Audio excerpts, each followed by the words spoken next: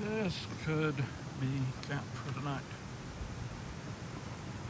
Beautiful aspen trees all around. Some shade. I can figure out some flat ground.